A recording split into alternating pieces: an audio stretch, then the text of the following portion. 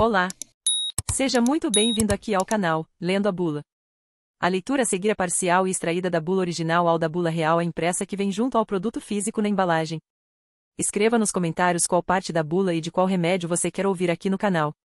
A leitura parcial de hoje é do ciclo 21. Quando não devo usar este medicamento? Ciclo 21 não deve ser usado por pacientes com hipersensibilidade aos componentes da fórmula ou que apresentem ou já apresentaram trombose venosa profunda, coágulos nas veias, ou tromboembolismo, rompimento de um vaso sanguíneo.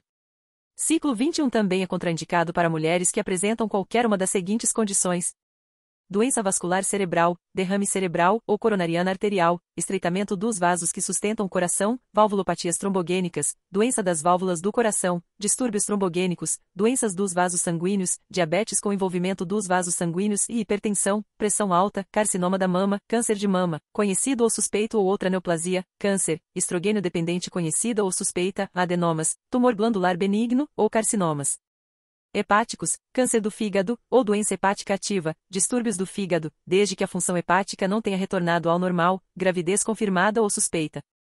Este medicamento não deve ser utilizado por mulheres grávidas ou que possam ficar grávidas durante o tratamento. Esse foi o vídeo de hoje. Espero que tenha gostado. Certamente você conhece alguém que tem dificuldade para enxergar e ler a bula, não é mesmo? Vem conhecer o canal, lendo a bula e ouça esta e muitas outras bulas. Compartilhe com seus amigos e familiares o link do canal, Lendo a Bula. Espero por vocês lá. Tchau.